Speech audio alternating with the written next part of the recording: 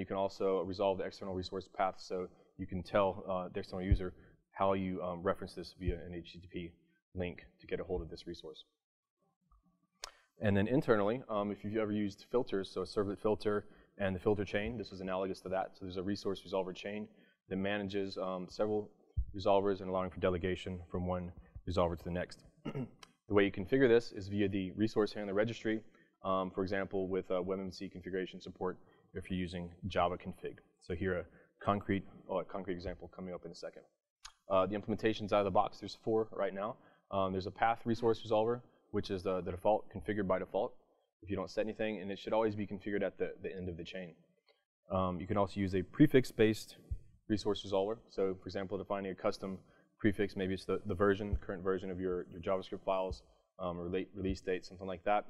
Or um, something a bit more unique, maybe the uh, fingerprint resource resolver um, that uses an MD5 hash for the uniqueness of the contents of the file, um, adding that into the file name, and then allowing you um, ways to, to, parse that out and, and tell the, the, client which version or what the name of the file is to use.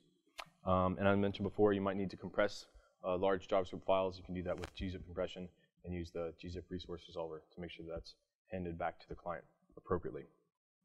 So here's an example from um, Java configuration for Spring MVC. So we have an at configuration class that extends the web MVC configuration support.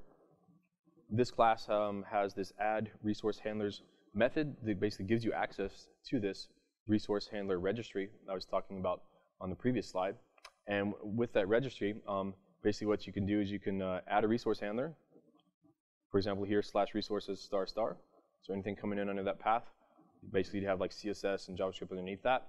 And then you're pointing to some resource locations from the class path, so within some jars in your web application. And then setting the resource resolvers. So this is this new API. This is the new part. And this is a chain. It's just basically um, an array of these uh, resolvers.